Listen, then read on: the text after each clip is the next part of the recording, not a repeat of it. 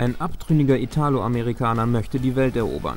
Was vielleicht nach einem schlechten Western klingt, ist der neueste aus dem Fiat Chrysler-Konzern, der Jeep Renegade. Er ist tatsächlich ein Abtrünniger, denn nur das Design und der Name Jeep stammt aus Amerika.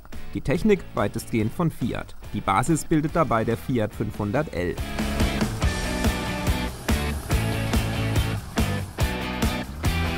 Da der neue kleine Jeep in Italien gebaut wird, gibt es ihn in für Jeep ungewöhnlich vielen Ausstattungen und Motorisierungen. Es entfällt die aufwendige Logistik für den Transport aus Amerika.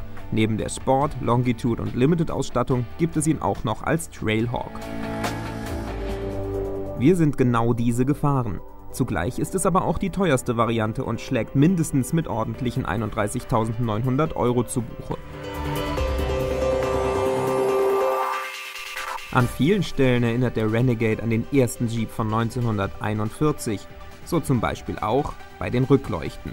Diese sind in einem X-Design gehalten, das kennt man vom Zusatzbenzinkanister, den es damals gab. Der Kofferraum fasst zwischen 351 und 1297 Liter. Im Bereich Komfort und Sicherheit will der Italo-Amerikaner groß auftrumpfen. Man kann ihn mit bis zu 70 Sicherheitsfunktionen ausrüsten. Obligatorische Airbags und Sicherheitsgurte mit eingerechnet. Erwähnenswert sind aber elektronischer Überrollschutz, Rückfahrkamera und Auffahrwarnsystem.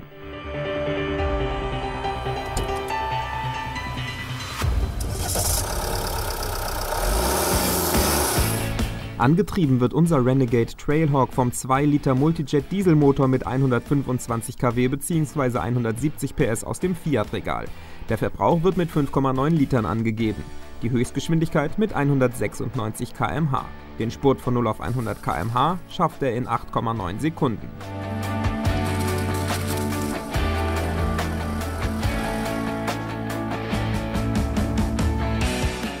Da Jeep für Abenteuer steht, soll auch der neue in puncto Geländetauglichkeit seinen größeren Brüdern in nichts nachstehen. Und so schlägt sich der Renegade mit dem neuen 4x4-System wacker durch das Unterholz. Er verfügt über 20,5 cm Federwege, sodass auch größere Unebenheiten kein Problem für ihn darstellen. Aber auch auf der Straße macht er eine gute Figur, nicht zuletzt dank seiner straffen Federung.